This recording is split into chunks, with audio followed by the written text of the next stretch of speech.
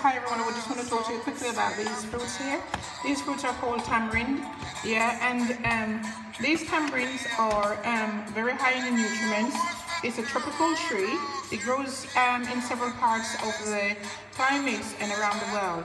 It produces large amounts of um, pods filled with paste like sweet and sour fruits.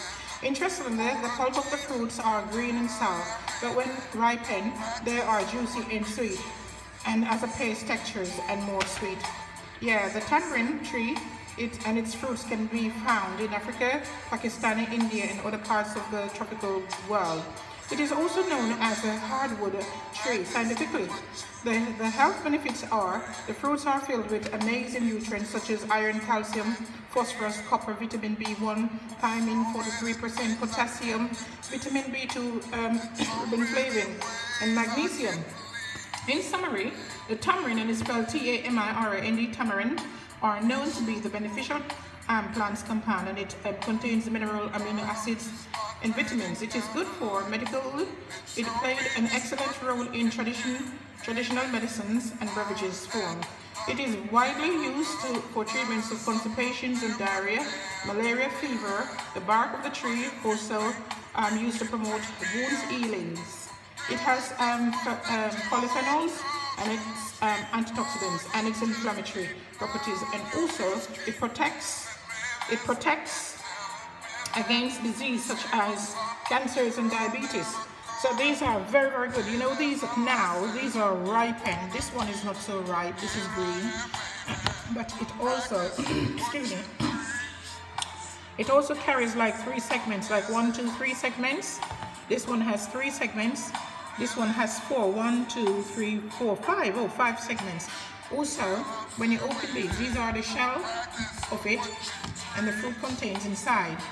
When you open it, you will eat the fruit inside. And these are the pips. These are the pips. They're like stones, kidney stones to me. They reminded me of kidney stones that I used to come across like um, during my time of work.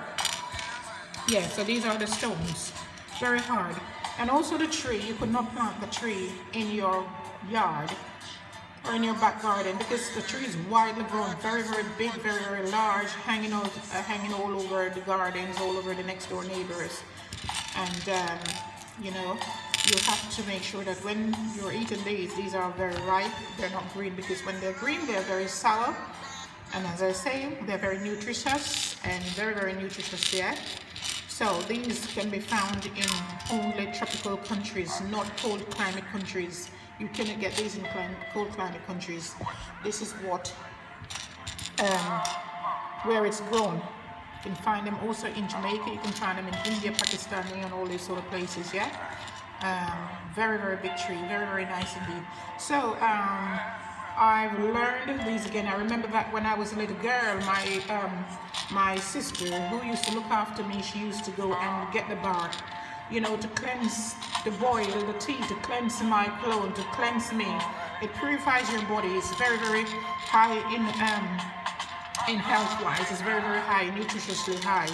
So when you when you drink the tea of this, you know, although you don't add any sugar whatsoever, the sugar will take away the taste and also it wouldn't be so effective.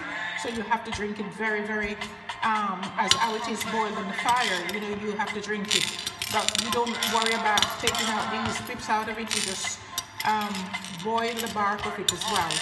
Yeah, so these are what we used to eat when we used to coming from school in Jamaica. So I'm not afraid of talking about these. These are fruits you know so um, these are very very good. So I hope that you will learn something away from this you know and um, you can do your own research on this as well. So thank you so much for listening to me and um, watching my video and um, share like share and subscribe to my video. It takes me time to go out and to do these research on these cameras. Thank you so much Bye.